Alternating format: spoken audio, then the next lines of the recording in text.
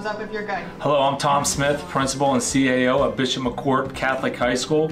We made an unbelievably amazing announcement last week regarding our innovative learning schedule, and I'm here today to tell you a little bit about it. Number four, what is facilitated When talking about and creating the innovative learning schedule, we focused on atmosphere and making this an unbelievable experience for our students and staff here at Bishop McCort. We focused on instructional time and how we could increase that, and we also focused on enrichment opportunities for students.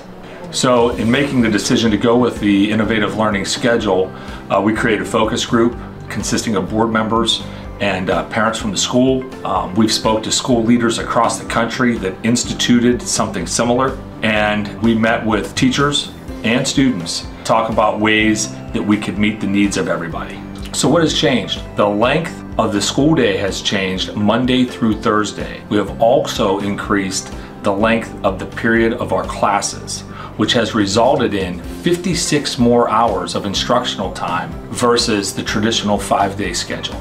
With Enrichment Fridays, we are taking the education of our students beyond the classroom walls. We're opening them up to a new world of college visits to do tours of colleges. We are going to have career fair opportunities, academic fair opportunities. They're going to have more access to tutoring and job shadowing.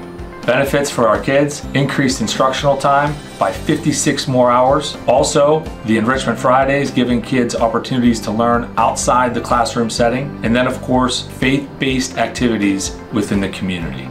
Benefits to our teachers that they will continue to have an amazing atmosphere to teach and work in.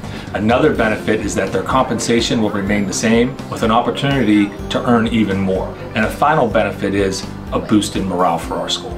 This was a big decision for Bishop McCort Catholic High School. We looked at a four and a half day schedule and found it to be insufficient for our students.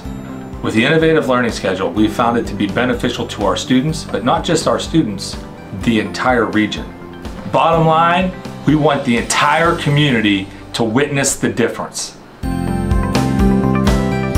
Witness the difference at Bishop McCort Catholic High School.